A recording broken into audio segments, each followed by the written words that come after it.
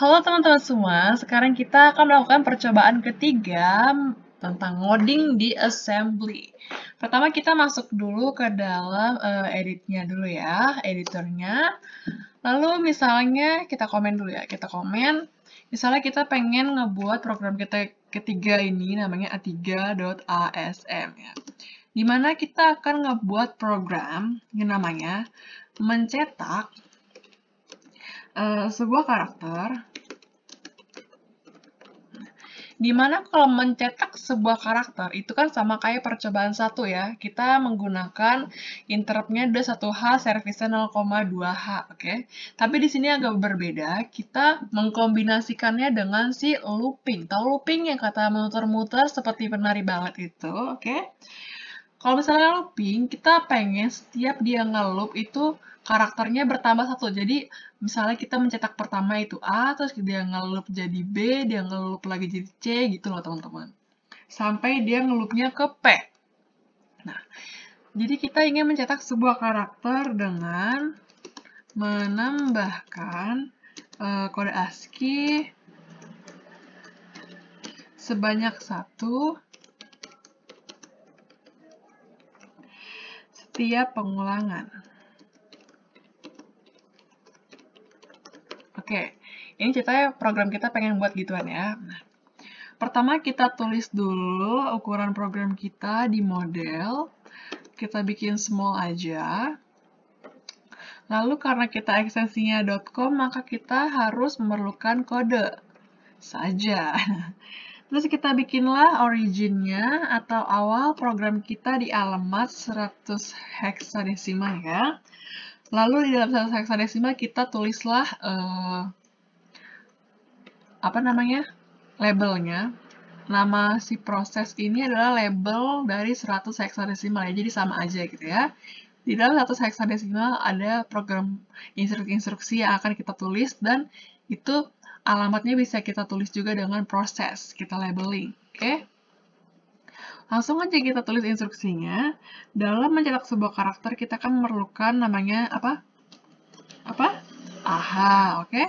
AHA-nya harus 0,2 heksadesimal.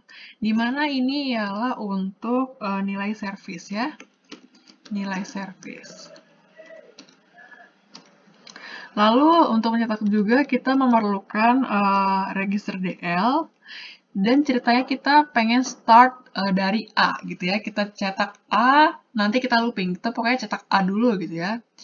Kita cetak A di mana ini adalah DL sama dengan karakter dari si A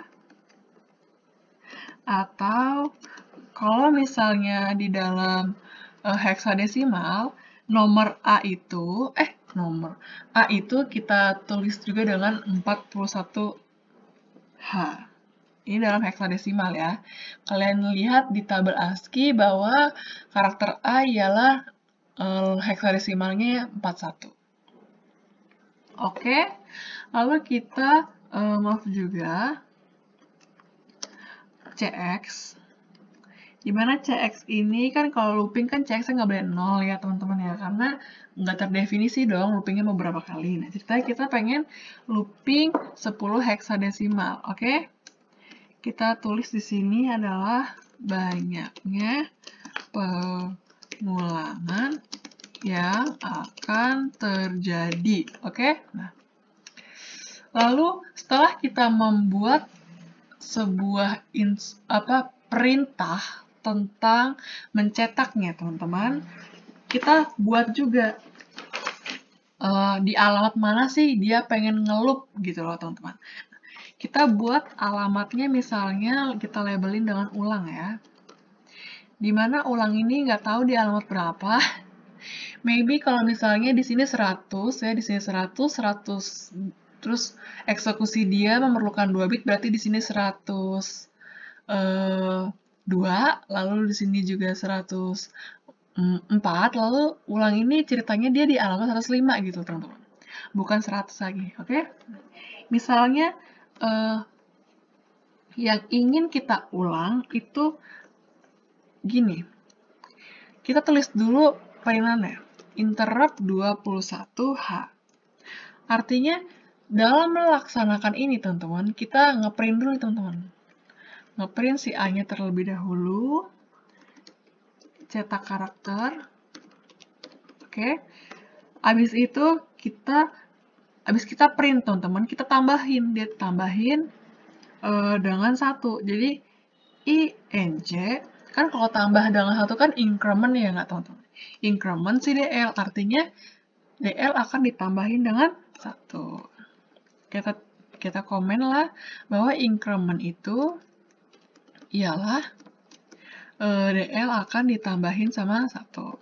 Oke? Okay? Nah, habis dia ditambahin satu, dia akan balik lagi teman-teman. Akan balik, kita kasih perintah loop. Balik ke mana? Balik ke sini. Perintah si ulang, di mana ulang akan mencetak lagi teman-teman. Makanya kita loopnya ke u ulang. Gitu. Artinya dia akan lompat ke ulang. Terus, habis dia lompat ke ulang, dia akan nambahin satu lagi, lompat lagi, nambah satu, lompat lagi, sampai dia uh, 10 heksadesimal gitu loh. Nah, setelah proses ini terjadi dan telah selesai, kita harus exit dia. Exitnya dengan uh, interrupt 20 heksadesimal. Oke? Okay? Nah, sudah selesai program kita, lalu kita N aja. N harus diikuti dengan program kita dimulai dari uh, alamat berapa? Yaitu alamat pro proses. Udah selesai ya, langsung kita save. Kita save dia, namanya ialah a3.asm. Kita oke, okay. karena saya sudah buat juga, kita oke okay lagi. Lalu kita exit, kita keluar dari si editor. Nah, Habis editing, kita akan menerjemahkan mereka menjadi bahasa mesin menggunakan assembler. Assembler kita uh, aplikasinya yaitu TASM. Ini, TASM. Terus program kita kan namanya A3, kita terus A3 di sini, oke, enter. Error message-nya 0, berarti kita berhasil ya. Habis kita uh, terjemahin, lalu kita gabungkan menggunakan si telling telling spasi kita tulis slash t karena apa? Karena kita pengen ekstensinya itu .com ya teman-teman. Oke, okay, slash t. Lalu uh, ikuti juga dengan nama uh, program kita 3. Nah, udah selesai nih digabungin karena dia error message-nya 0, maka kita nggak perlu mendebug ya, teman-teman ya. Langsung kita running aja a3.com. Terbukti dong bahwa dia akan uh, ngeloop, dia akan menambahkan kode ASCII sebesar 1 setiap pengulangan. Dia start dari A dan e, berhenti di P. Berarti program kita sudah berhasil, teman-teman semua. Terus kita akan next ke program keempat. Oke? Okay? Mantap.